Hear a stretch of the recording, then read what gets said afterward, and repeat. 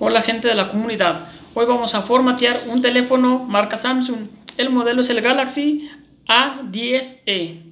Para hacerlo, el teléfono debe de estar 100% apagado y deben de, tener en cuenta que toda su información se va a perder o se va a borrar.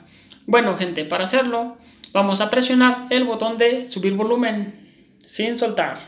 Enseguida presionamos el botón de encendido sin soltar.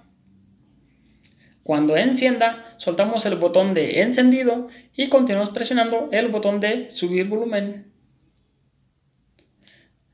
Aquí ya podemos soltar el botón y nos va a aparecer este pequeño menú. Con el botón de bajar volumen vamos a entrar a la opción llamada WIPI Data Factory Reset y vamos a tocar botón de encendido.